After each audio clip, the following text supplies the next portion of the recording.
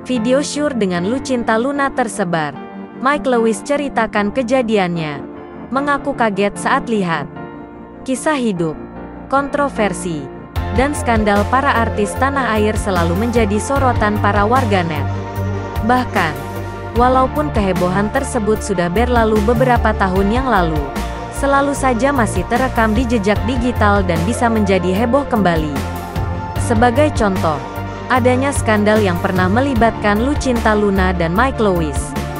Empat tahun silam, beredar sebuah video syur yang diduga kuat menampilkan Lucinta Luna dan Mike Lewis, mantan suami dari Tamara Blazinski. Mike Lewis sempat bungkam mengenai hal tersebut. Namun, seiring berjalannya waktu, Mike mulai angkat suara atas kabar miring yang beredar. Sebelumnya, kedekatan keduanya tercium kala beredarnya video syur atau video tak senonoh yang diduga terjadi antara Lucinta Luna dengan mantan suami Tamara Blazinski itu. Banyaknya berita yang simpang siur mengenai video tersebut membuat Mike Lewis membeberkan awal pertemuannya dengan Lucinta Luna hingga tersebar video tersebut. Dilansir suaramerdeka.com dari kanal YouTube BW pada Rabu, tanggal 14 Desember tahun 2022. Mike Lewis membeberkan perasaannya saat ia dikabarkan menjalin hubungan spesial dengan Lucinta Luna. Ia pun dikabarkan memiliki orientasi seksual yang berbeda dari pria kebanyakan. Kepada Boy William, Mike mengatakan bahwa saat ia melihat berita mengenai dirinya, ia merasa muntah. The first time I saw the news. Pertama kali melihat berita. Mau muntah men. Ucap Mike. Di antara kaget dan mau muntah. Gak percaya juga. Sambungnya. Boy pun mengatakan kepada kamera bahwa dirinya dan Mike saat itu membicarakan Lucinta Luna. We are talking about the infamous Lucinta Luna. Kita lagi ngomongin Lucinta Luna, ucap Boy.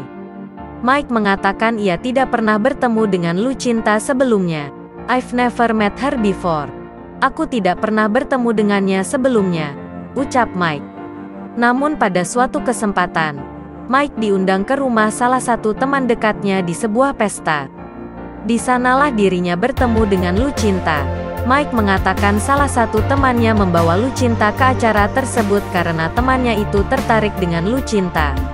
Hey bro, lu cinta Tere. Dia bawa lu cinta ke sana. Tei were I guess you can say.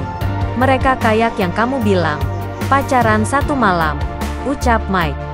Pada acara tersebut, Mike mengatakan bahwa Lucinta yang sebenarnya meminta dirinya untuk berfoto bersama. Bahkan Mike membantah bahwa dirinya yang meminta Lucinta duluan untuk berfoto. Tak tanggung-tanggung. Dirinya juga mengatakan bahwa Lucinta bukan tipenya. Still she is not my type. Dia bukan tipe aku, ucap Mike. Mike mengaku sangat kaget saat melihat ada video dirinya bersama Lucinta. Menurutnya video tersebut diedit oleh Lucinta hingga terlihat seperti mereka sedang melakukan kegiatan tak senonoh bersama.